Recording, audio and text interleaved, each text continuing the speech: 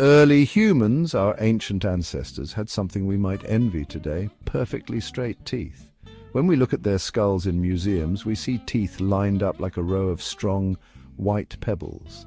But why were their teeth so perfect? The answer lies in understanding their diet and lifestyle.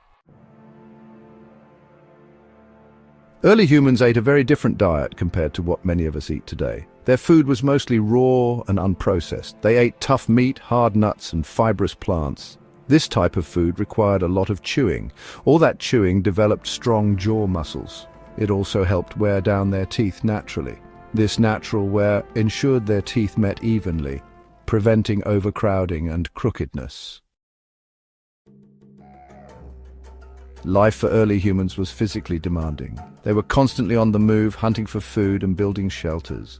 This active lifestyle played a crucial role in their dental health. Constant physical activity stimulated blood flow, including to their gums, keeping them healthy. Strong gums meant strong teeth and a lower risk of gum disease, which can affect tooth alignment.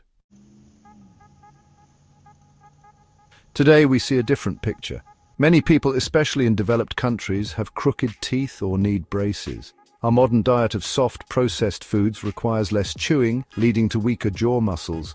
This can result in teeth not aligning properly. Over time, our lifestyles and diets have changed dramatically. While we've made incredible advancements in dental care, understanding the connection between our diet, lifestyle and dental health remains crucial for a bright, healthy smile.